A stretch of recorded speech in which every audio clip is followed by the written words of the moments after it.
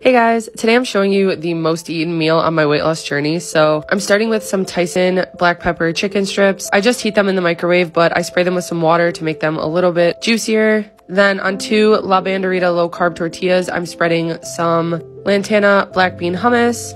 And then I'm using a light laughing cow and just dividing that between the two wraps. I have some pre-made veggie mix. So this is peppers, onion, and zucchini. And then I'm just cutting up the chicken using some kitchen scissors.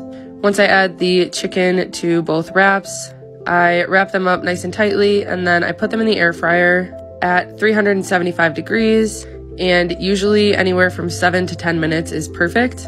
Then after they come out of the air fryer, I like to top them with some queso and sauce. So I'm using this Good Foods spicy queso blanco and then some Taco Bell mild sauce.